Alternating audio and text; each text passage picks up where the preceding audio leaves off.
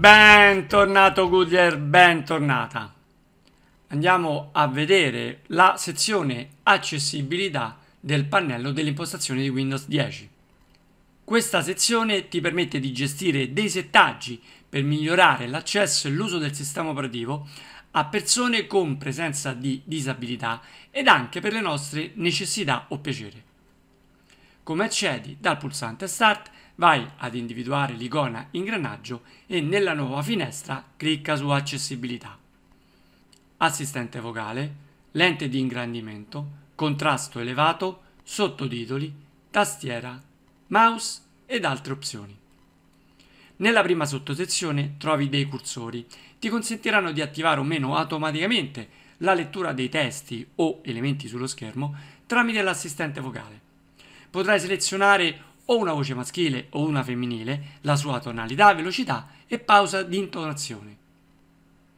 Altri cursori ti consentono di far leggere anche i suggerimenti per i controlli o i pulsanti da parte del sistema operativo, oltre quelli che normalmente sono presentati a video, e anche caratteri o parole da te digitati durante la scrittura di un testo. Ancora, potrai attenuare il volume delle applicazioni in esecuzione quando l'assistente vocale dovrà comunicare qualcosa o anche abilitare o meno la riproduzione di segnali acustici provenienti dal sistema operativo, tutto tramite dei cursori. Ulteriori cursori ti permetteranno di evidenziare con un rettangolo a bordi colorati dove cliccherai col puntatore del mouse oppure attivare i tasti della tastiera virtuale se sollevi le dita dalla tastiera, questo con la possibilità di un touchscreen. Qui una rappresentazione molto sintetica di quanto appena esplicato. Quest'ultima opzione sarà valida in caso di display touchpad per permetterti di scrivere parole strisciando sul display, semplificando così la scrittura senza premere di volta in volta ogni singolo tasto. La seconda sottosezione è relativa alla lente di ingrandimento, con una percentuale che potrai variare in base alle tue necessità, percentuali di ingrandimento naturalmente, scegliendo anche il tipo di visualizzazione con la mini finestra che ti comparirà. Avrai o lo schermo intero con ingrandimento di tutto il desktop che diverrà mobile naturalmente e con una visione parziale della sola sezione dove passa il mouse, oppure potrai avere il desktop normale ma con la creazione di un rettangolo che va ad ingrandire soltanto la porzione di desktop dove passa il mouse o infine se avrai il desktop ancorato ma con una creazione in alto di un rettangolo dove avrai la visione ingrandita della zona dove passerà il mouse. Queste opzioni le vedremo meglio nella zona pratica. I cursori presenti attivano meno anche in maniera automatica la lente di ingrandimento per rendere migliore la lettura dei caratteri. Inoltre potrai invertire i colori dello schermo nella zona ingrandita per migliorare il contrasto d'impatto per la visione. Puoi anche abilitare la zona da visualizzare, sia quella dove si trova il puntatore, la parte del desktop se eventualmente è mobile, oppure far sì che venga seguita la tastiera oppure dove si trova il cursore durante la digitazione di un testo disinteressandoti della posizione del mouse in quanto la posizione dove andrai a digitare il testo sarà quella più importante dove dovrà essere ingrandita la sezione a prescindere da dove è posizionato il mouse. La sottosezione contrasto elevato permette di gestire il contrasto dello schermo, del testo, dei collegamenti ipertestuali, del testo selezionato, dei pulsanti mostrati o dello sfondo per migliorare la visione. Potrai anche personalizzare i colori di tali impostazioni e salvare così questo tema con un tuo specifico nome. Hai a disposizione un menu a tendina con cui opterai il tipo di contrasto in base alle tue esigenze, menu a tendina che si crea in questa sezione. La sottosezione sottotitoli ti permette naturalmente di impostare parametri relativi ai caratteri dei sottotitoli. In una finestra anteprima potrai visionare le impostazioni che man mano effettuerai. Sono molti i parametri che potrai scegliere. Per la tipologia di carattere avrai il colore del sottotitolo, la trasparenza dello stesso, lo stile del sottotitolo, le dimensioni del carattere e gli effetti del sottotitolo. Per lo sfondo e la finestra avrai il colore dello stesso, la trasparenza del fondo, il colore della finestra, la trasparenza della finestra. Tutti a tipo menu a tendina. Qui hai l'anteprima che ti permetterà di visionare ciò che di volta in volta andrai a selezionare da questi menu a tendina. Nel caso volessi, tramite un pulsante dedicato potrai ripristinare il tutto a valori predefiniti. La sottosezione tastiera porta in visione il tastierino virtuale sul desktop. Il cursore tasti permanenti consente di premere uno alla volta i tasti di scelta rapida ma sulla tastiera reale in modo da poter utilizzare anche un solo dito alla volta. I tasti permanenti sono tasti o combinazioni di tasti che ti permettono di eseguire delle operazioni in maniera più rapida, operazioni che normalmente faresti con il mouse, il tipo copia e incolla, CTRL C o CTRL V. Verranno abilitati anche altri cursori per la gestione di altre impostazioni relative ai tasti attivare o disattivare i tasti permanenti premendo 5 volte di seguito il tasto maiuscolo. Oppure potrai bloccare l'azione del tasto modifica premendolo due volte di seguito. O ancora disattivare i tasti permanenti che avevi abilitato premendo un tasto qualsiasi mentre rilasci il tasto di modifica. O infine riprodurre un suono quando il tasto modifica viene premuto o rilasciato. Questo tutto tramite dei cursori. Un cursore abilita un segnale acustico ogni volta si preme uno dei tasti block maiuscolo, block num o block score. Poi un nuovo cursore permette l'attivazione o disattivazione di questa ulteriore funzione tenendo premuto per 5 secondi il tasto block num. La presenza del cursore filtro tasti consente di ignorare o rallentare la pressione dei tasti se ripetuta velocemente e adattare la velocità di ripetizione in base alle necessità dell'utente. Con nuovi cursori che si creano puoi impostare altri filtri, attivare o meno i filtri premendo per 8 secondi il tasto maiuscolo oppure attivare un segnale alla pressione di ogni singolo tasto, visualizzare l'icona dei filtri nella Tray, variare il tempo di pressione dei tasti della tastiera reale per l'acquisizione del carattere con un tempo variabile tra i 0 e i 20 secondi, quindi lo 0 per una visualizzazione immediata subito dopo la pressione del carattere, oppure 20 secondi porterà alla visualizzazione del singolo carattere o della singola opzione dopo un tempo molto ampio pari a 20 secondi. Il cursore abilita velocità di ripetizione, permette di variare il tempo affinché, mantenendo premuto un tasto, il sistema ripeta lo stesso con un tempo variabile tra i 0,3 e i 2 secondi valori che sono selezionabili sia per la prima pressione del tasto oppure per le successive pressioni, quindi avrai due possibili scelte. Altre impostazioni ti consentono di abilitare la sottolineatura dei tasti di scelta rapida, la visualizzazione di un messaggio quando si attiva un'impostazione tramite uno dei tasti di scelta rapida oppure generare un segnale acustico nello stesso caso. Qui una rappresentazione molto ampia dei cursori con i quali andrai ad interagire. La sottosezione mouse ti consente di scegliere le impostazioni del puntatore del mouse come le sue dimensioni e del suo colore, ma anche utilizzare le frecce del tastierino numerico se presente in alternativa all'uso del mouse per poter spostare il puntatore sullo schermo senza utilizzare il mouse ma grazie alle frecce che sono presenti nello specifico sui tasti 2, 4, 6, 8 del tastierino numerico. La velocità dello stesso in questo caso potrà essere variata o con il tasto CTRL o con il tasto maiuscolo, rispettivamente per incrementare o rallentare il movimento del puntatore sul monitor. Infine, il cursore in basso abilita meno il controllo del puntatore premendo il tasto block number per una sua attivazione o per una sua disattivazione.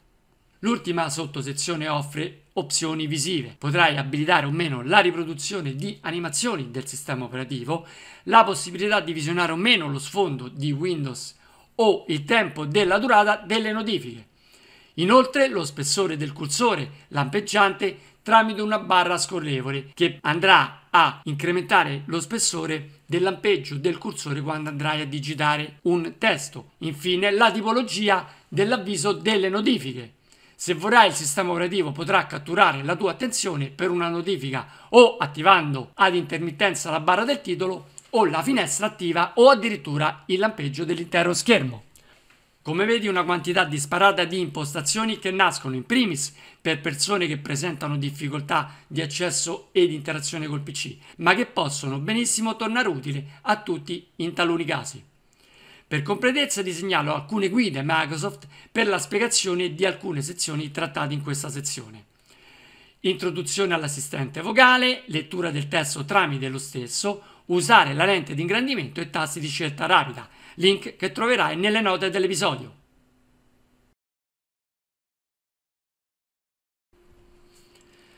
Bene Goodyear, eccoci in zona pratica, andiamo subito a vedere la sezione impostazioni e quindi accessibilità.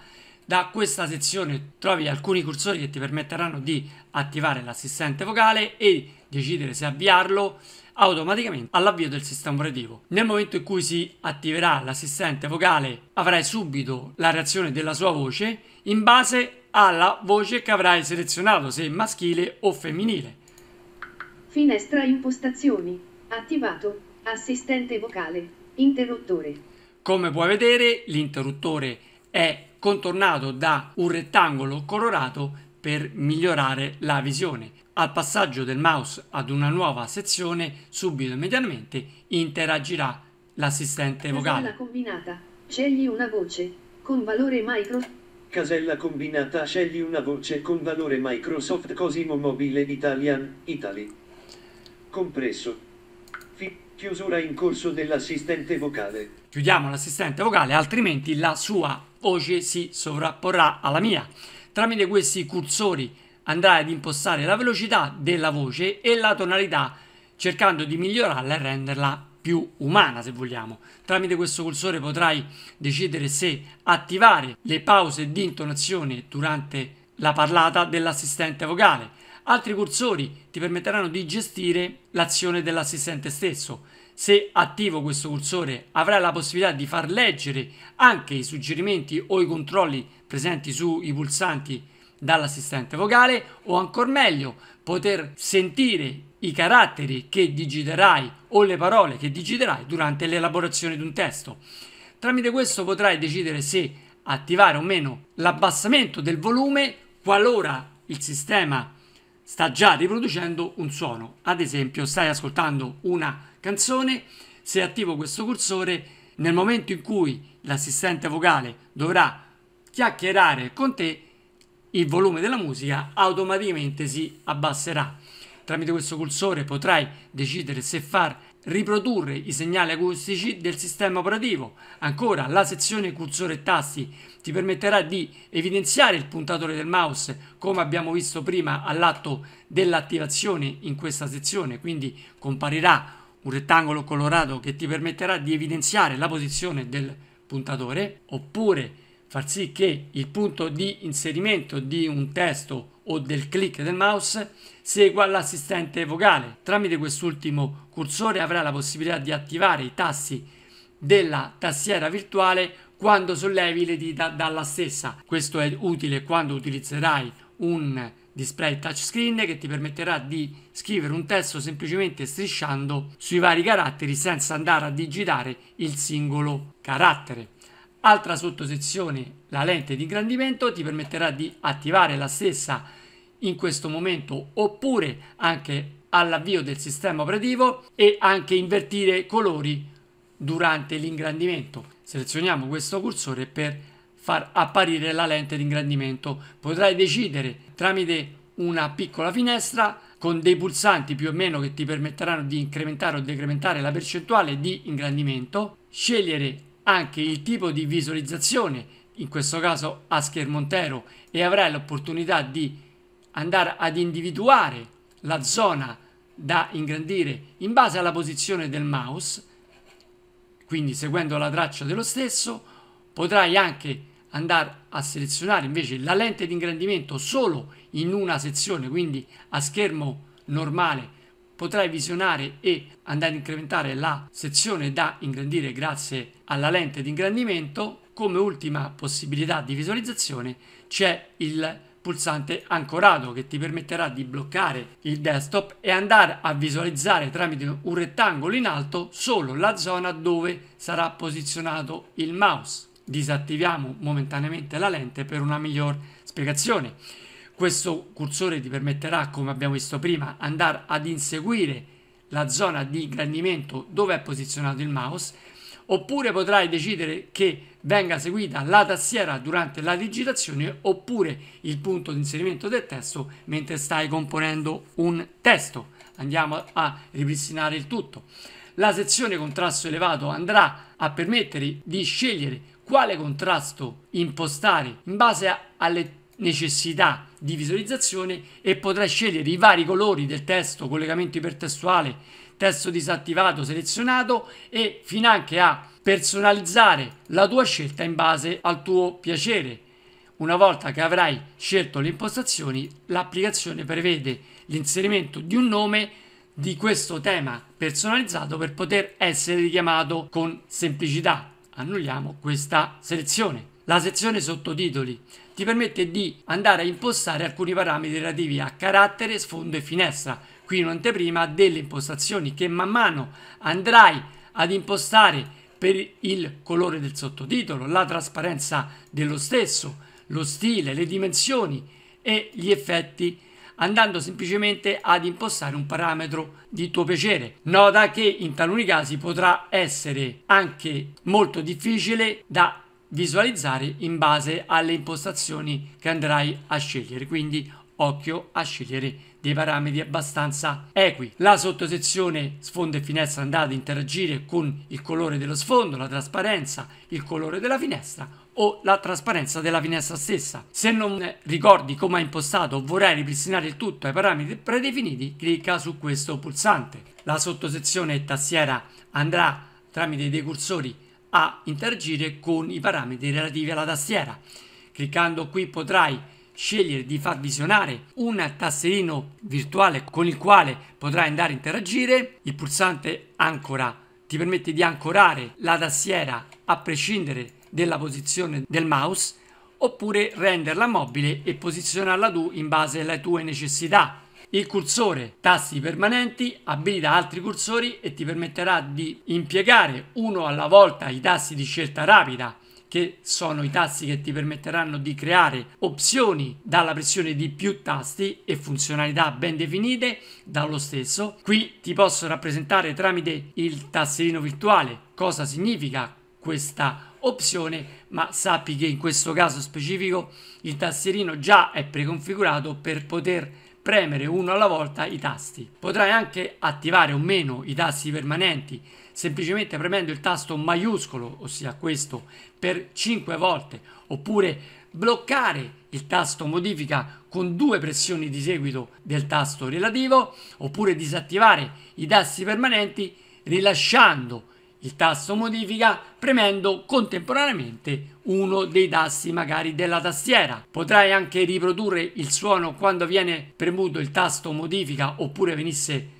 bloccato o rilasciato e visualizzare l'icona dei tasti permanenti nella barra delle applicazioni come puoi vedere cliccandoci sopra aprirai la sottosezione che ti permette di scegliere tramite i disegni di spunta quello che di fatto stai eseguendo in questa sezione. Chiudiamo la tastiera virtuale. Potrai anche decidere di udire un segnale acustico quando premi uno di questi tasti e attivare il segnale acustico anche quando viene premuto il tasto Block Num, come puoi ben sentire. Altra sezione con diversi cursori è quella dei filtro di tasti che va a poter impostare il rallentamento o meno della pressione dei tasti durante una ripetizione, quindi se dovrai ripetere il tasto che avrai premuto per n volte. Potrai anche attivare la sezione filtri tenendo premuto per 8 secondi il tasto maiuscolo oppure udire un segnale acustico alla pressione di un singolo tasto della tastiera reale,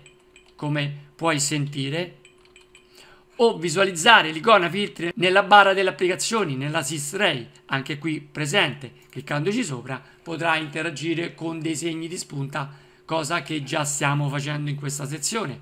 Alta possibilità abilitare il tempo di pressione dei tasti. Qui puoi abilitare delle tempistiche relative al tempo oltre il quale avrai visionato durante la digitazione di un tasto il carattere che andrai a premere con un tempo variabile tra i 0,3 e i 20 secondi. Che cosa significa? Che se andrai a premere un tasto su una tastiera, in questo caso specifico, quel carattere sarà visionato dopo un secondo fino a un valore massimo di 20 secondi.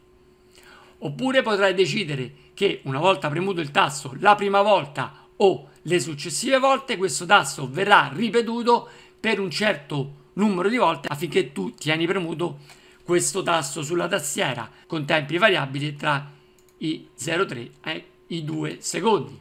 Altre impostazioni sono relative alla abilitazione della sottolineatura dei tasti di scelta rapida oppure alla possibilità di visualizzare un messaggio attivando un'impostazione tramite i tasti di scelta rapida oppure un segnale acustico all'attivazione o la disattivazione dei tasti di scelta rapida. Disattiviamo queste opzioni ripristinando tutto come era in precedenza.